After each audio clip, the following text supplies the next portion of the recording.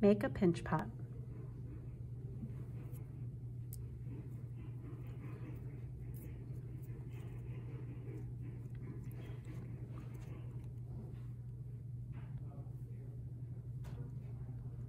Add feet or a foot. A foot can be as simple as a coil rolled into a ring or a donut.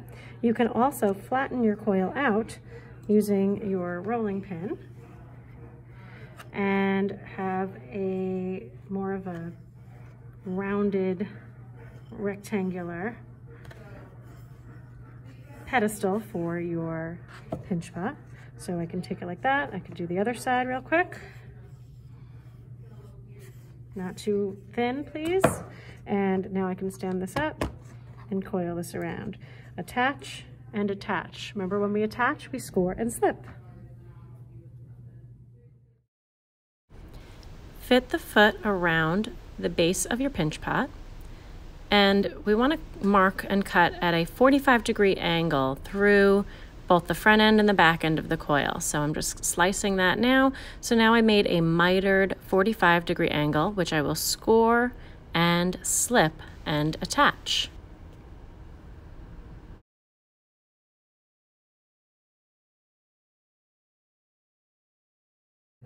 And you're attaching these 45 degree angles. Make sure this doesn't get too thin here. Okay, remember to smooth your seams.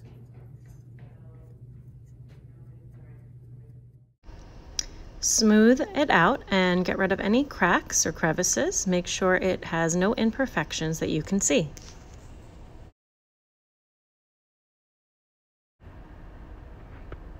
Set the foot on the base of your pinch pot and trace its location so you know where to score.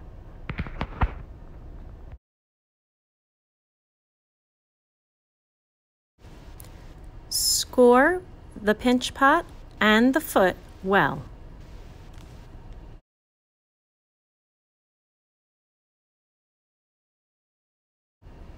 Apply slip to both pieces.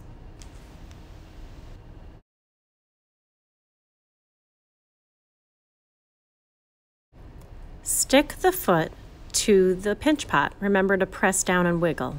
Then smooth the seams.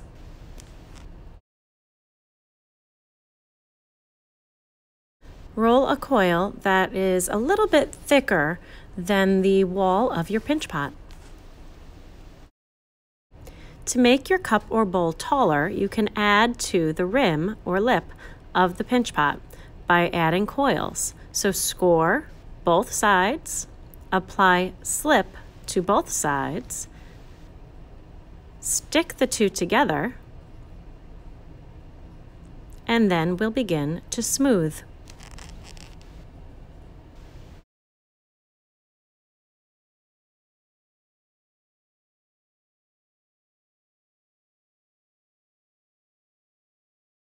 For a seamless cup or bowl, smooth the inside as well.